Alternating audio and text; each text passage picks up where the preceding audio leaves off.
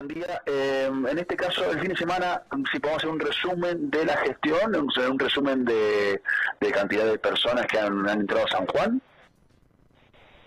Bueno, la verdad que ha sido un fin de semana muy muy interesante, bueno, eh, con récord de ocupación hotelera, eh, 99,5% eh, por ciento, eh, durante la Semana Santa. el anterior registro en ese sentido tuvimos en 2018 con 99%, por ciento, con destinos turísticos a pleno como Calingasta, Iglesia, Cacha, eh, Vallefrate al 100%, Gran San Juan 97%, que Gran San Juan es muy importante ya que concentra eh, capital y alrededores y tiene la mitad de la oferta en,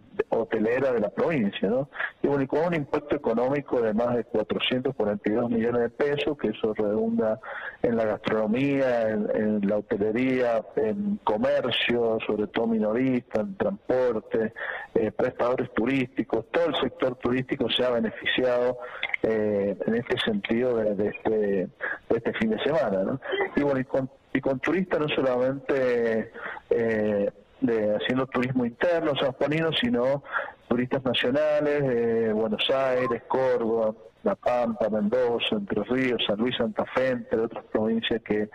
hemos entrevistado, como también internacional, eh, ya que hemos tenido este evento internacional de Kaiser, de gente de Brasil, Estados Unidos, Francia, Italia, ¿no? Así que realmente muy, muy completo y, muy beneficioso para, para este sector bueno tan castigado durante la pandemia. Eh, un fin de semana de, Semana Santa y sin el previaje, o sea que auspicioso para lo que se podría invierno, teniendo en cuenta si, si se lleguen haciendo eventos deportivos o algún tipo de eh, sinergia entre las partes, entre el turismo y el resto de las áreas.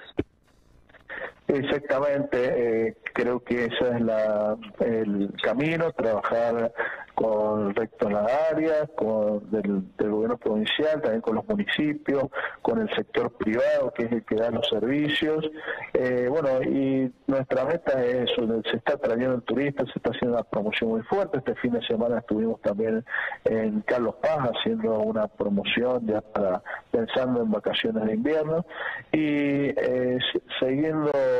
trabajando bueno para que San Juan eh, afiance eh, lo, lo, que viene pasando bueno que está llegando mucho mucho turismo bueno también por, por en cuanto han andado muy bien los vuelos este vuelo San Juan Córdoba eh, que, que ha venido lleno bueno y de vuelta, digamos.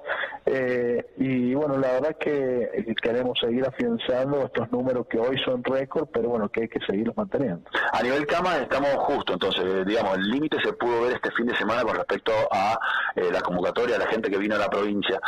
¿Hay fuera de los proyectos que hay, hay algún otro tipo de, estrategia que hace turismo con respecto a, la cantidad de, ocupación del San Juan? Bueno, hoy estamos en vísperas de, seguir eh, aumentando camas, bueno, con la próxima inauguración el segundo semestre del Hotel Cinco Estrellas que tenemos acá en Ciudad de San Juan. También ya, ya comenzó la construcción del Hotel Spa Termal en La Laja. Eh, se ha dado concesión el Hotel de Termas de Pismanta, que también este año seguramente abrirá nuevamente sus puertas y eso va a ser muy importante para el interior de la provincia. Eh, también los domos, ya empezaron a construirse los domos en el Parque Provincial de Chihualasto y por supuesto, bueno, gran cantidad de inversión privada que, esperamos que entre este año y el próximo eh, pueda estar lista, ¿no? Porque bueno, eh, como vos decís, estamos ahí muy muy justo con la eh, con el tema de, camas, entonces la única forma es seguir creciendo para eh, dar eh, más y mejores servicios al turismo se ha dado una mejor relación con la con el grupo gastronómico porque al principio como que estaba todo bien con el previaje el final de la temporada de verano pero después como que se vino un poco la nube en, en algunas vicisitudes a nivel internacional los costos de la logística y demás. Eh, se siguen en contacto con ellos Sí, sí, hay un contacto permanente con el sector privado, a través del buró, a través del diálogo con las distintas cámaras, eh, y bueno, y usualmente sobre todo con el sector gastronómico, en este mes, en marzo, bueno, ha habido grandes eventos como el torneo este argentino de fútbol, el Ironman, bueno, ahora Semana Santa, y después seguiremos eh, con estos